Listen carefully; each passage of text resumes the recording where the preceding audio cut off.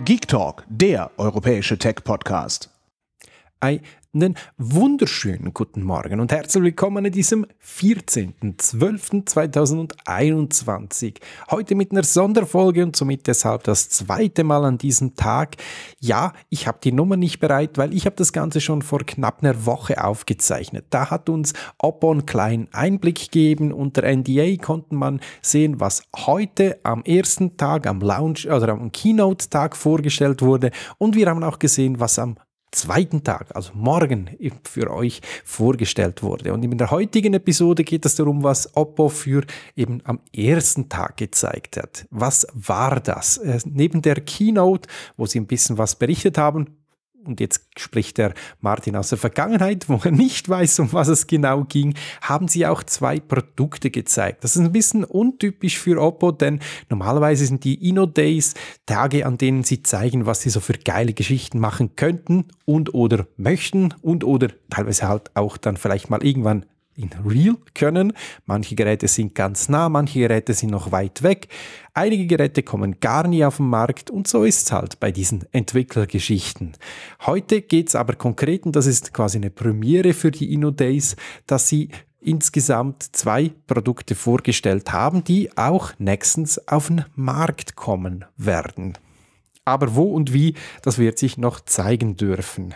Es ging um den Mari Silicon X und die Oppo Air Glass. Was ist das? Dieses Mari Silicon X ist, ja, man hat halt gesehen, bei Apple hat es funktioniert, ein eigener Prozessor. Man hat gesehen, Samsung hat eigene, man hat gesehen, Google hat eigene und Oppo möchte auch. Aber das, das geht nicht im Prinzip darum, ha den Hauptprozessor zu ersetzen. Das wird nach wie vor ein Qualcomm und in den ersten Geräten wahrscheinlich ein Qualcomm 888 sein so munkelt man zumindest.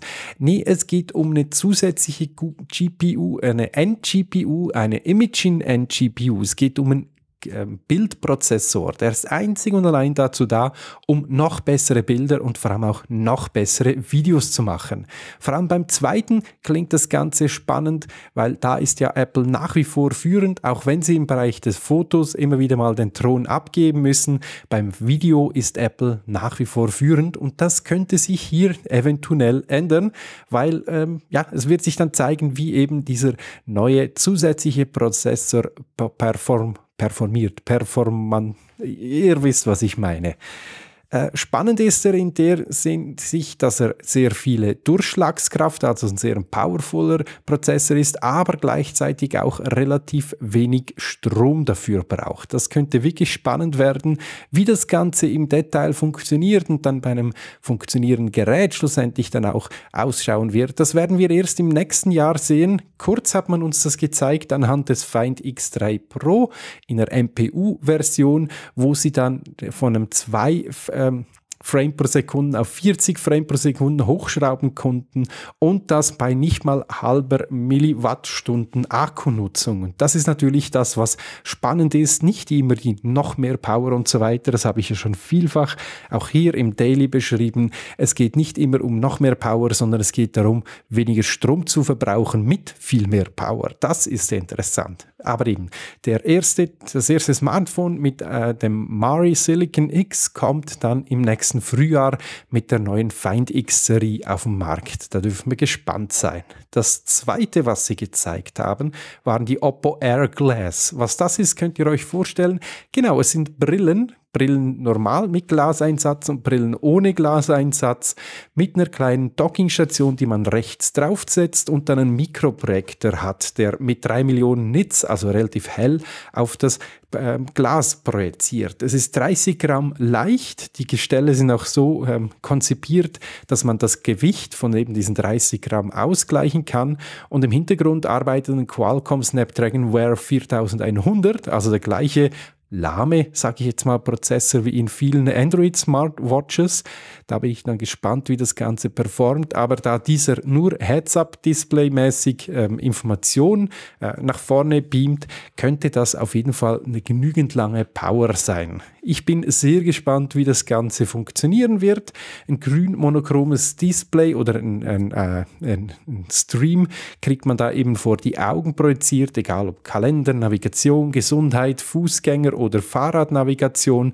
Das sind so die ersten Geschichten. Auch ein Teleprompter, das könnte ich mir zum Beispiel für meine YouTube-Videos gut vorstellen. Eine Brille habe ich sowieso auf und warum dann nicht da meine ganzen Texte drauf projizieren? Dann würde ich auch weniger Fehler reinschwaffeln. Eventuell, vielleicht. Und natürlich, wenn man zwei Brillen miteinander koppelt, würde auch Simultanübersetzung möglich sein. Da wird es dann spannend. Die ersten äh, Versuche sind äh, mit Chinesisch und Englisch und das soll schon relativ gut funktionieren. Ja, das waren die beiden Geräte, die Oppo heute gezeigt hat. Für all diejenigen, die es interessiert, morgen gibt es nochmals eine kleine Sonderfolge genau eben zu dem Oppo Inno Day, weil Oppo hat noch was anderes gezeigt, was für den einen oder anderen vielleicht spannend sein könnte. In diesem Sinne, besten Dank fürs Reinhören, euch noch einen schönen Tag und wir hören uns bald wieder. Bis dann, euer Pokipsi. Tschüss.